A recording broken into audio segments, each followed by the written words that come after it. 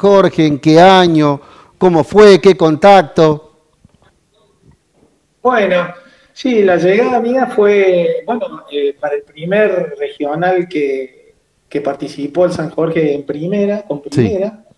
Y bueno, eh, mi llegada fue mm, eh, a través de, de, un partido amistoso que fuimos a jugar del equipo del trabajo, que yo este, pertenecía, teníamos un equipo que, que, era de, en ese momento era de la policía, pero justo pasamos en ese año al Poder Judicial.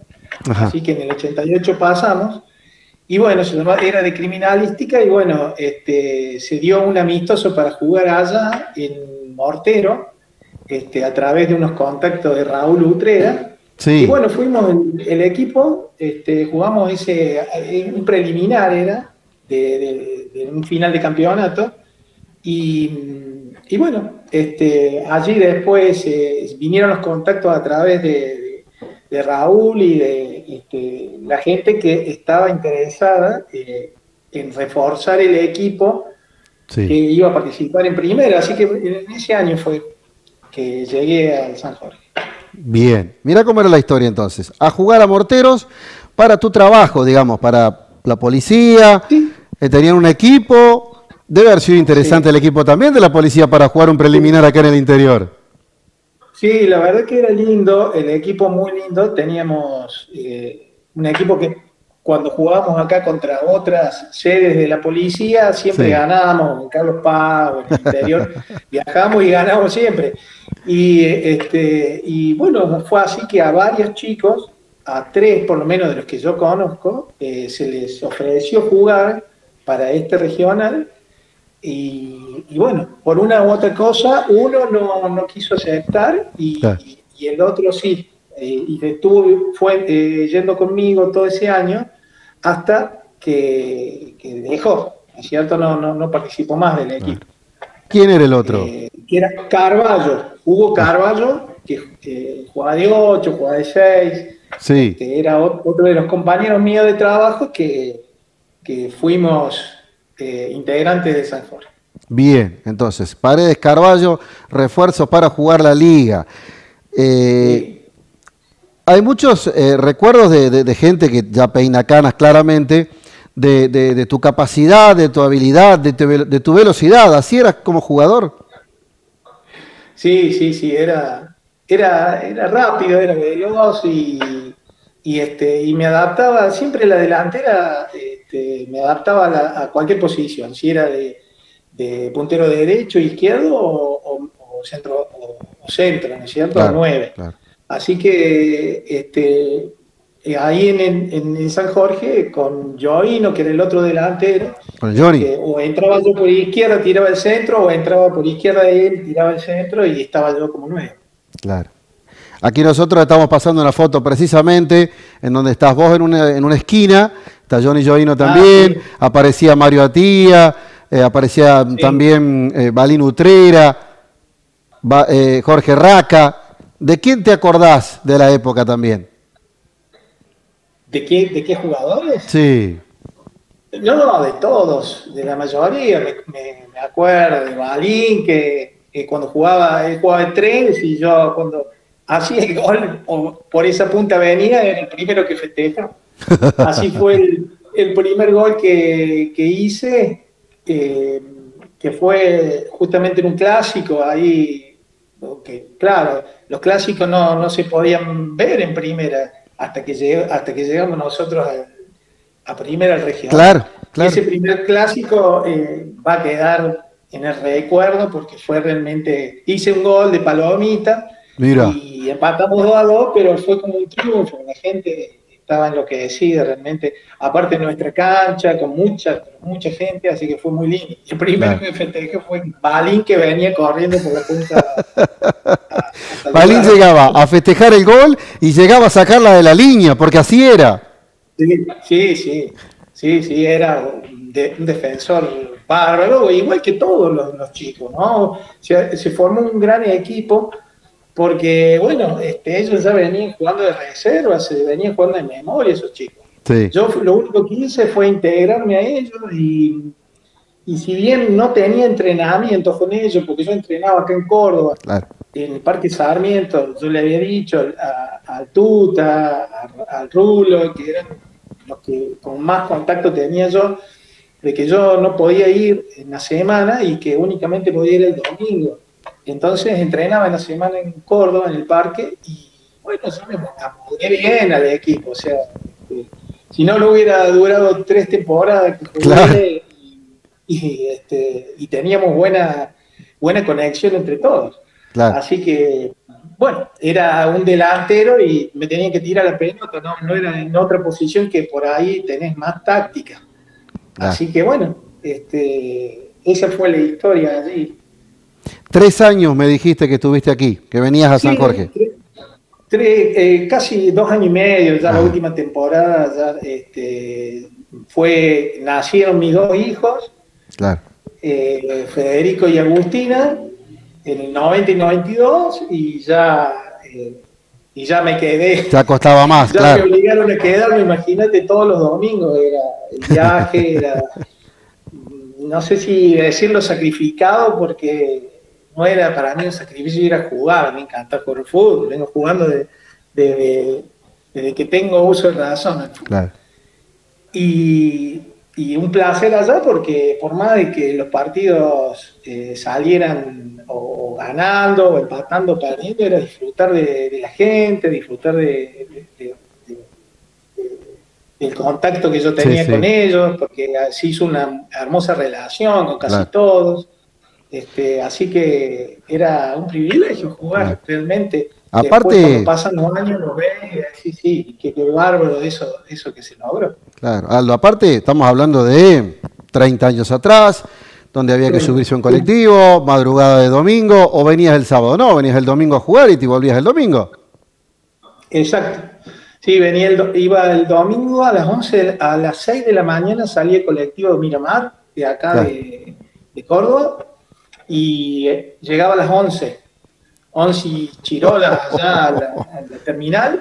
Encima. Y ahí estaba el Tuta, estaba algún, algún otro dirigente, siempre esperándome eh, para desayunar. A veces desayunamos ahí en, el, en la terminal y después íbamos para la sede, que estaba ahí en el centro. Sí, sí, sí. Eh, donde después llegaban los chicos y iban, iban llegando, íbamos charlando un rato ahí, una previa, digamos y después a una de las casas, alguna de las casas de todos, ¿no? de toda la, de, la comisión que realmente trabajó a pulmón todos esos años para, para lograr esto, ¿no? Este, a una de las casas, podía ser a, la casa de, la familia Utrera o a la casa de Cortés.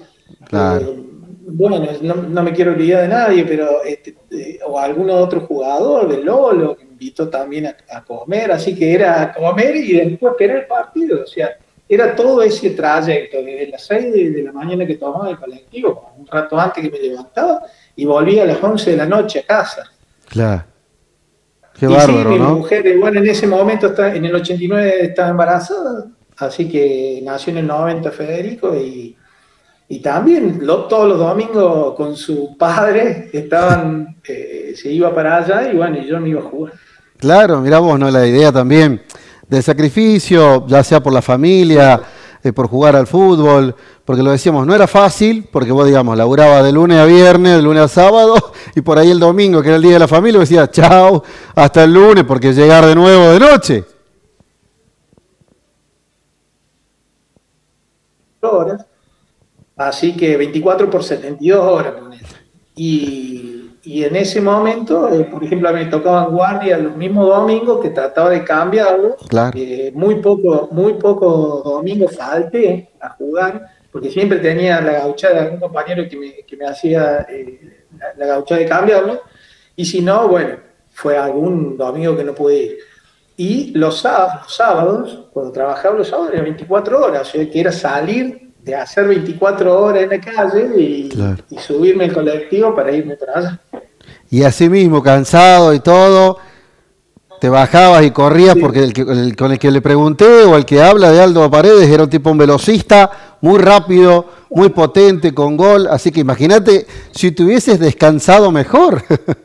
Claro, sí, aparte el, colectivo te entumecía todo, ¿viste? Iba, esos colectivos, viste, que no eran eh, ni mucho menos, ¿viste? Así que, este, sí, sí, sí, bueno, pero era lo que había y, y bueno, sí, y el, este, y, el amor que yo le, agarré al club eh, por todo, ¿no? Porque yo uno no estoy detrás de la escena, nosotros no estamos detrás de la escena y menos, menos yo que venía de afuera.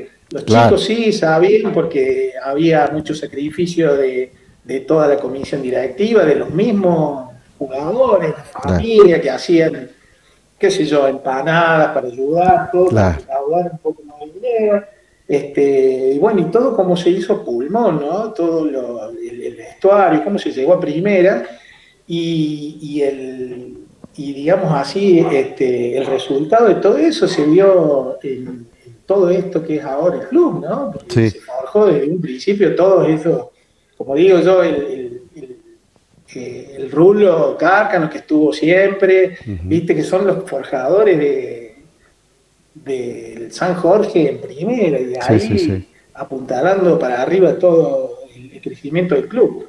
Aquí mismo estuvo eh, Rulo, ¿no? Contando un poco su historia, su historia de fútbol, su historia de dirigente, su historia como técnico.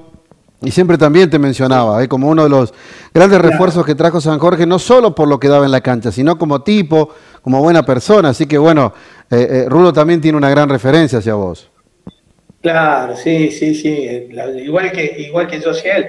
Y, bueno, y a todo, a, a toda la familia, ¿no? Porque por ahí uno se olvida de algunos, eh, pero todos los que estaban en el banco, fe, qué sé yo, todo, toda la familia, entonces eso hacía que las cosas salieran bien. Y, claro.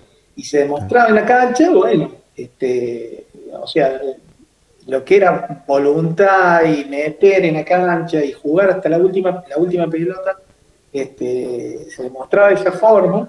Y después, bueno, si no salían las cosas era, era, era otro problema, pero sí, quedábamos todo, como, como yo te decía, era un poco sacrificado llegar y este, bueno, lo, lo hice y bueno, me, dio su, su, fruto porque dejé muchos recuerdos allá, este, me han hecho otros, otros reportajes y bueno, se, ve que, que fue bueno mi paso por allá. Sí, sí, sí, ni hablar, ni hablar. Y en la época inicial, como decís vos, ¿no? Porque San Jorge arrancaba su etapa en primera división con monstruos, porque Centro tenía equipos siempre competitivos, nueve tiros competían, Chipión, y bueno, llegaba este humilde San Jorge a no desentonar por lo menos, ¿no?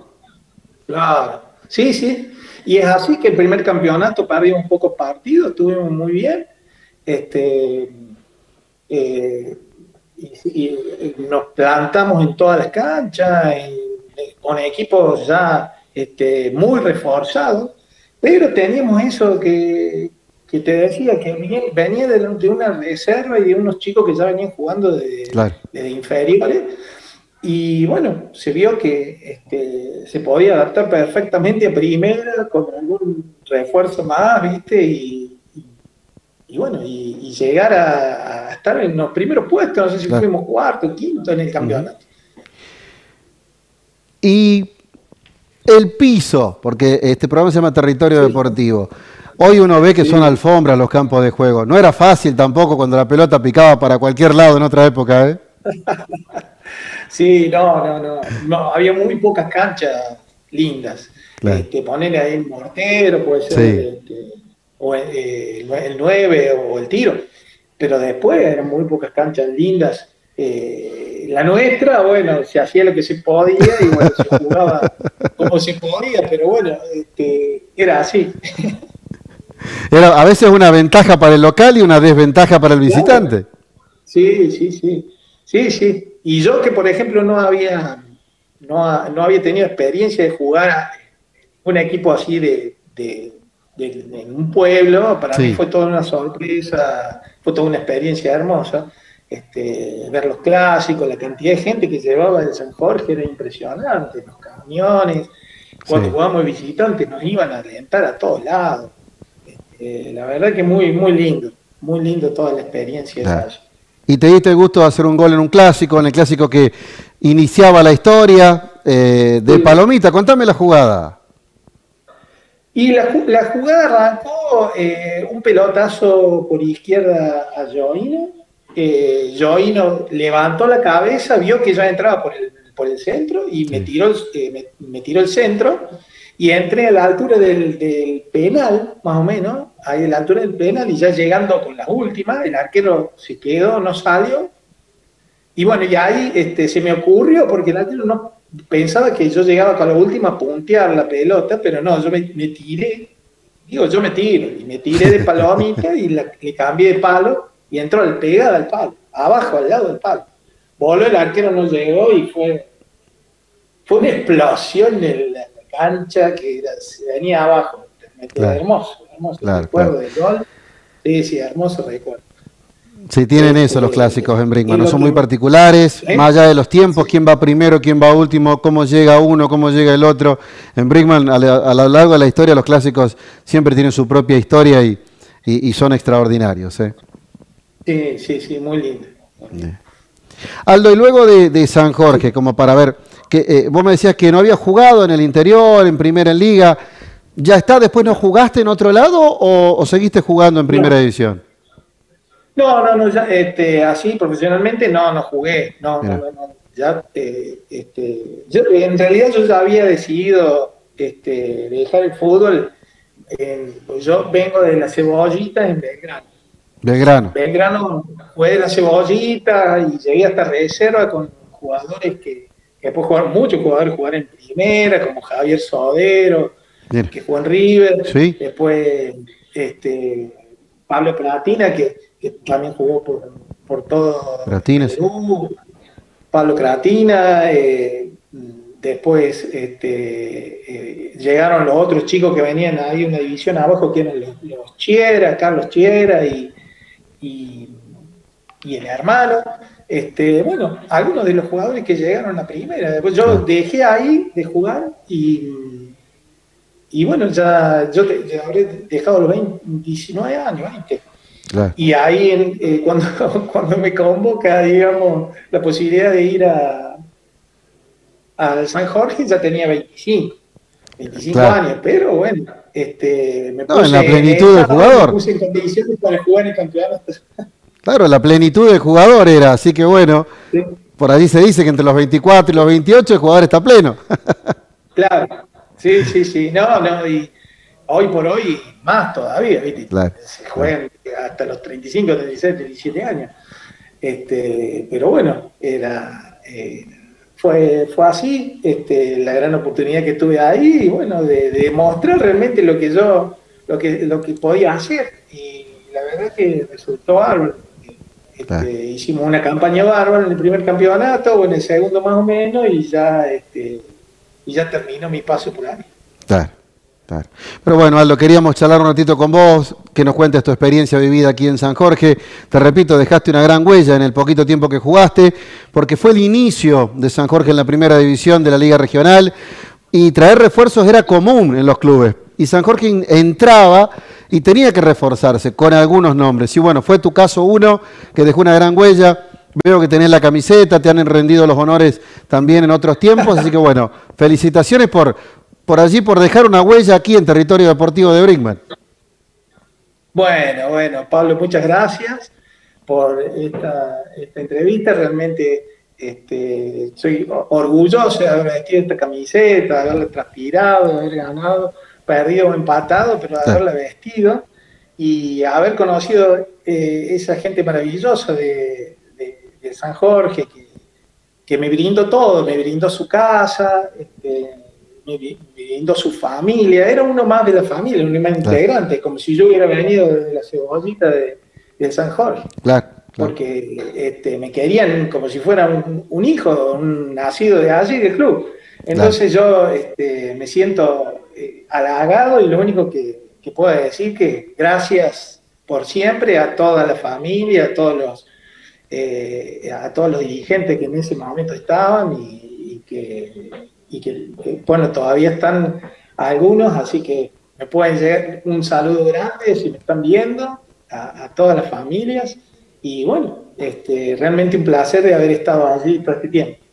Bien, Aldo. Bueno, a cada invitado siempre le damos la gentileza del presente de Robertino, eh, eh, aquí hombres, bueno, de alguna forma lo haremos llegar. Eh, y agradecerte otra vez enormemente por haber pasado por nuestro programa. Ha sido un honor entrevistarte, charlar con vos y que hay mucha gente que seguramente se va a emocionar y va a recordar tu paso por, por, San Jorge y por, por Brickman, en aquel momento pueblo, hoy ciudad. Gracias, Aldo. Abrazo a la distancia y cuídate mucho. Muchas gracias, Pablo. Un abrazo para vos y a toda la familia. Chao. Chao, chao, viejo. Hasta luego. Allí pasaba entonces eh, la palabra eh, de Aldo mm, Paredes, eh, este enorme delantero, que fíjense que usted está impecable, se veía impecable, es como cuando lo vimos a, Rubén Tabano, exjugador de centro, impecable físicamente como para seguir jugando realmente.